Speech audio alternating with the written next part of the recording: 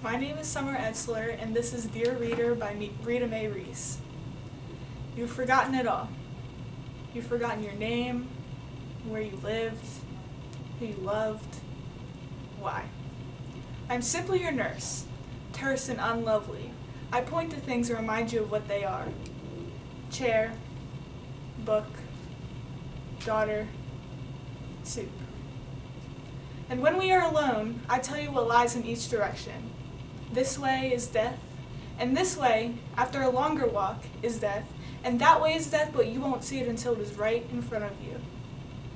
Once after your niece had been to vis- visit you, I said something about how you must love her, or she must love you, or something useless like that. And you gripped my forearm in your terrible, swift hand and said, She is everything. You gave me a shake. Everything to me. And then you fell back into the well, deep in the well of everything.